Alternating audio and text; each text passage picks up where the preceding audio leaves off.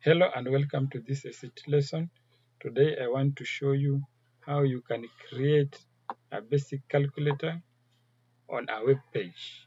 And this calculator is used to calculate addition, subtraction, multiplication, and even divide numbers. It will accept two numbers, the text boxes, then with the help of these buttons, the answer will be displayed below here. We are going to use two languages. We are going to use HTML language for the interface or for the appearance part of the calculator and I will use JavaScript language to do the actions of calculations. It is very easy to design this calculator because once we write code for addition, we will just copy the same same code and do a bit of modification to it to create the other patterns. Let me show you practically how this can be done. I will start Notepad, which is my text editor for writing the code. The first thing to do is to put here HTML tag to open the web page and I will close it here with HTML tag. I will split my page into two parts, the head and also the body part.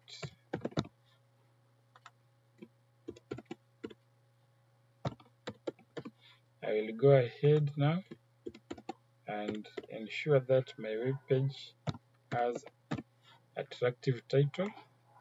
Let me just call it um, basic calculator.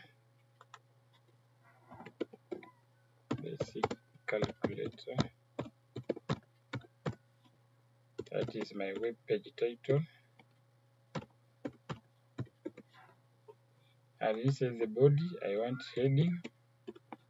I will just choose heading level 2 and write a basic calculator.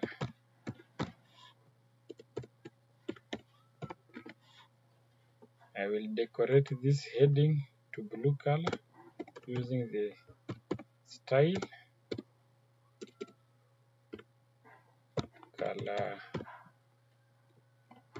it blue. After the heading, I want uh, a label here. I can have it here as uh, first number. Then I have my text boxes. Text box here we'll just create it here. Type is text. This text box I want to give it a name so I will use the id attribute and call it num1 because it will contain the first number. After this uh, I will break the flow from left to right of the components with br tag then I will also use br tag to create empty space. I will go ahead and copy this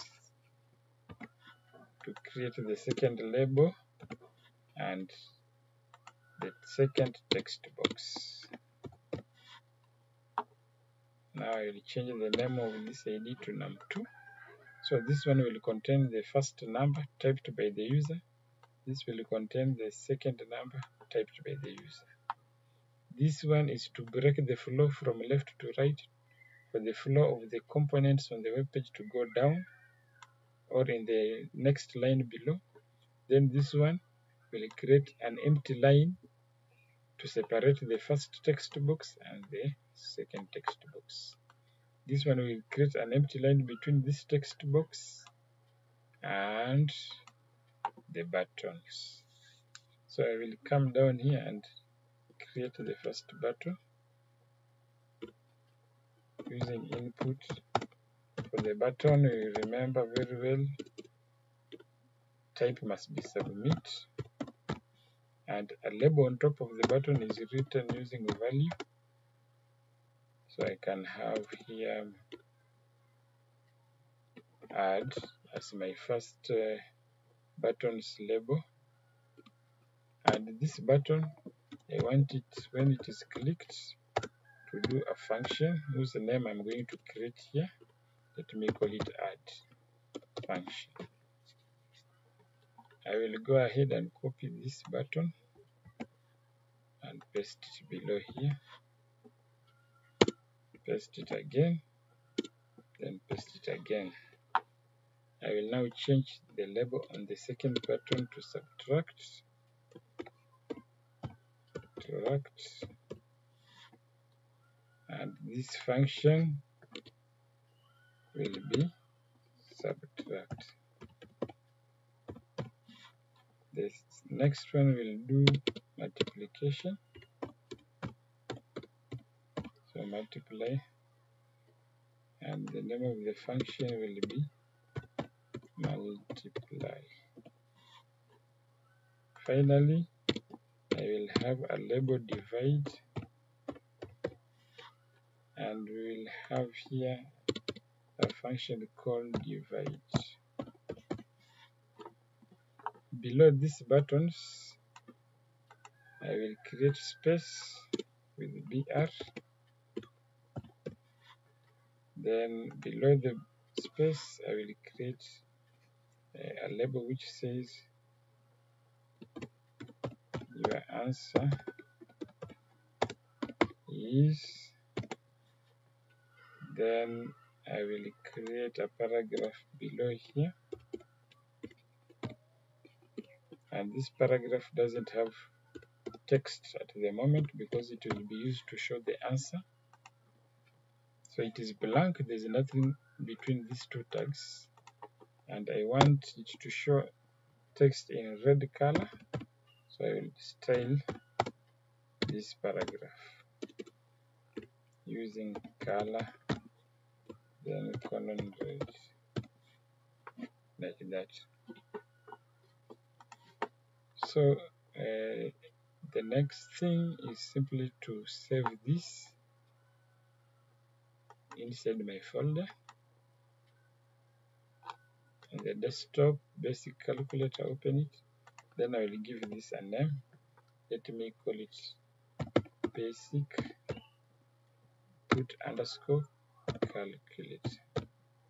Calculate. And remember to put .html at the end. Then I click save. Opening my folder. You can now see my calculator is there I will go ahead double click it so that you see how it looks after refreshing the page you can see now uh, I have several buttons four of them for different actions but if I put any value right now it won't calculate anything because I have not added JavaScript code for the calculation part. I will go ahead and do that and ensure that uh, the calculator is working as as much as possible and be able to be used to calculate anything.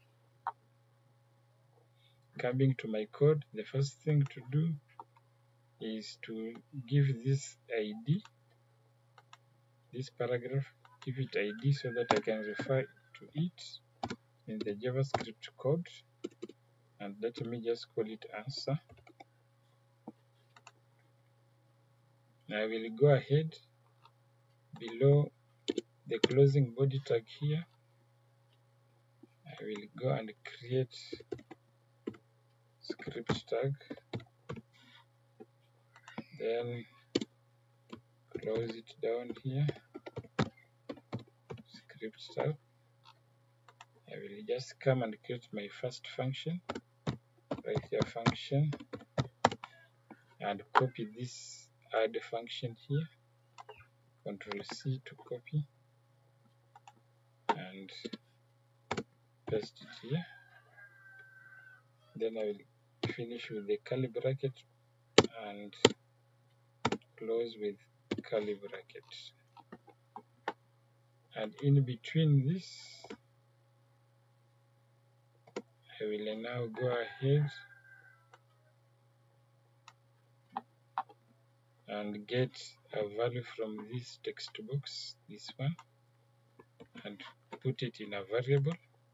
So I'll create a variable called one and go to my document and get get element get element by id and my id I will paste it here. It is num1 so I'm going to pick a value from this text box through its id then dot value meaning we are picking a value from that. I will go ahead and copy this line and uh, paste it below here change this to num2 and create the second variable called 2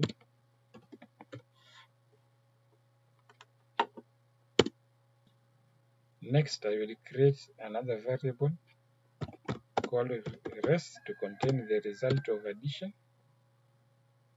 Here I will convert what is in 1 into a number using the num function number function. Then I will add and also take what is in 2 and convert it into a number.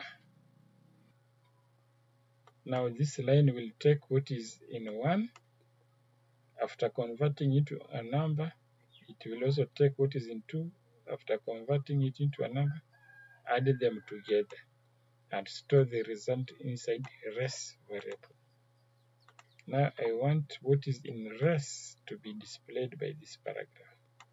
So I will take the, the name of this paragraph, copy, then just come here and write document, meaning go to your document, get element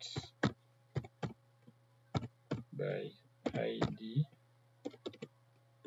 element we want to get as the ID as ans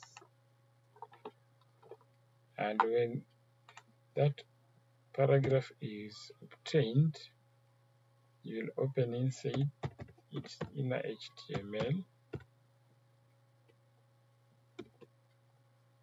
and give it the value of res. Copy it there put it here and end with semicolon.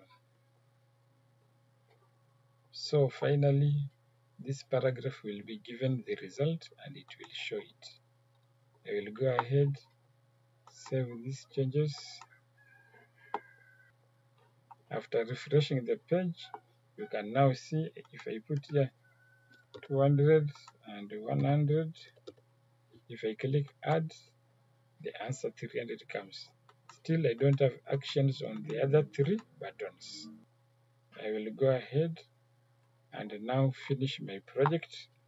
What I will do is simply to copy this code from function from this bracket to that just copy it control C then below it there down here control V then I will pick the name of this function to subtract this one pick it control c come to this and replace it here control v.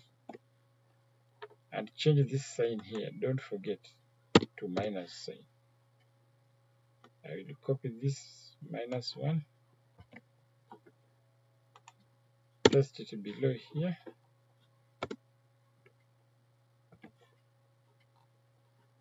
then I will change the name from subtract to multiply. Control C. Then come here control V to replace this to multiply.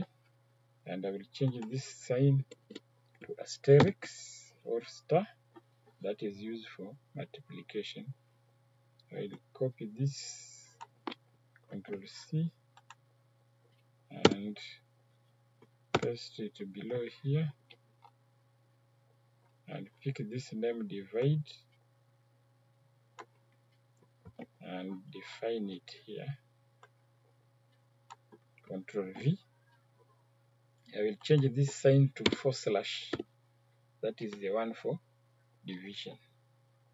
Now my code is complete and can be used to run the calculator. The code is big right now. I will go ahead and save it. You can see it. You can see the part of the script. This the whole of this part is script for calculation, and each of them has its function to subtract, subtract, to multiply, and to divide. After refreshing my page, I can now put here maybe 205 when I take 200 plus 5 I can get to I will get 205 that is correct. If I take 200 minus 5 I will get 195 if I take 200 multiply by 5 I will get a thousand. If I take 200 divide by 5 I get 40. So the calculator app is working correctly. Go ahead and try this at home and thank you for participating in this lesson. See you next time. Bye bye.